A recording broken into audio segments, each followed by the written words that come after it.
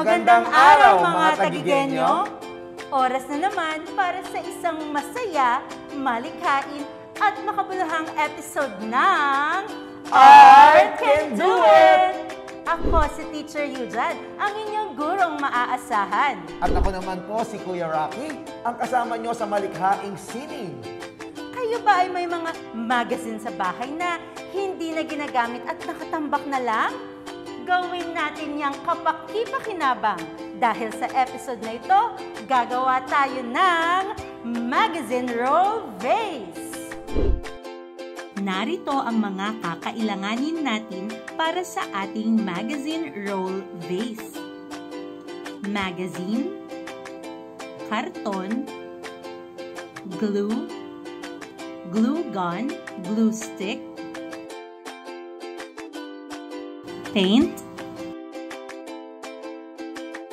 scissors, Ngayon, simulan na natin ang paggagawa. Una, gupitin ang magazine sa nais nyong size ng magiging base nyo. Pangalawa, tupiin ito ng pabilog na pahaba. Lagyan ng glue ang dulo ng magazine upang hindi matanggal sa pagkakatupi.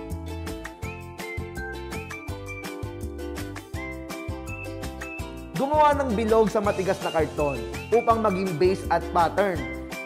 Kapag dinikit-dikit natin ang mga tinuping strips, pagdikit-dikitin natin ang mga tinuping strip ng magazine.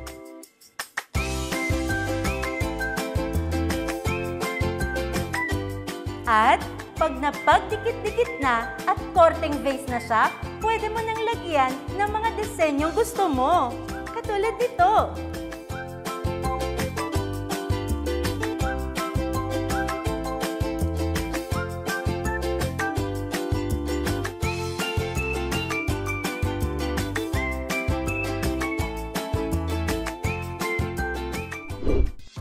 O ayan, ang ganda, di ba?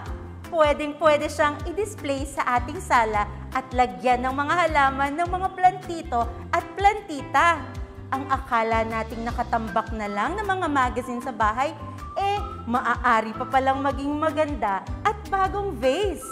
Nakatipid ka na, nakatulong ka pa sa ating inang kalikasan. Kaya mga tagigenyo, just comment down kung may naisip din kayong pwede nating gawin na artwork para sa mga susunod nating episode.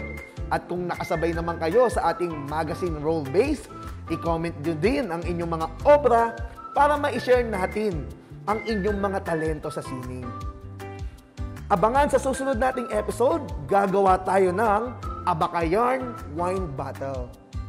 Kita-kita tayo muli dito lang sa Art Can Do It. Makulay nating imahinasyon, magbibigay sigla at saya sa ating lungsod. Ito ang Art